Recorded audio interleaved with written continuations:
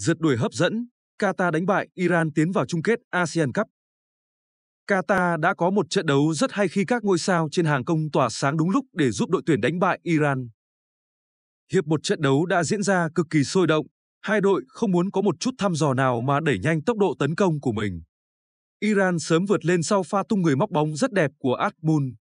Qatar bị dội một gáo nước lạnh, nhanh chóng dồn lên tấn công và cũng nhanh chóng có được thành quả khi ra xem gỡ hòa bằng một cú sút đập chân hậu vệ Iran khá may mắn. Thời gian sau đó, hai đội chơi ăn miếng trả miếng và các cơ hội được tạo ra liên tục. Gần cuối hiệp 1, tiền đạo Afif đã tỏa sáng bằng một pha độc diễn miễn chê bên cánh trái rồi tung cú dứt điểm cực kỳ quyết đoán nâng tỷ số lên 2, 1 cho Qatar. Bước sang hiệp 2, Iran đã nhanh chóng dồn đội hình lên tấn công và quân bình tỷ số sau hơn 5 phút bóng lăn. Cầu thủ Qatar để bóng chạm tay trong vòng cấm, trọng tài trách va và cho Iran hưởng penalty.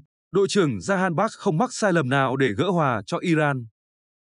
Có được bàn thắng, Iran bắt đầu tổ chức được thế trận tốt hơn Qatar. Các nhà đương kim vô địch có vẻ đã xuống sức nên không thể chơi đôi công như trước. Nhiều lần khung thành của Qatar bị đặt vào tình trạng báo động. Tuy nhiên, Qatar luôn có những ngôi sao biết lên tiếng đúng lúc. Amoe Ali ghi bàn trong một tình huống phá bẫy Việt vị nhạy cảm ở phút 84. Những phút cuối cùng, Iran đẩy cao nhịp độ nhưng họ lại thiệt quân số khi trung vệ Khalilizadeh nhận thẻ đỏ rời sân. Thiếu người, Iran dù đã rất nỗ lực nhưng vẫn ngậm ngùi nhận thất bại xít sao.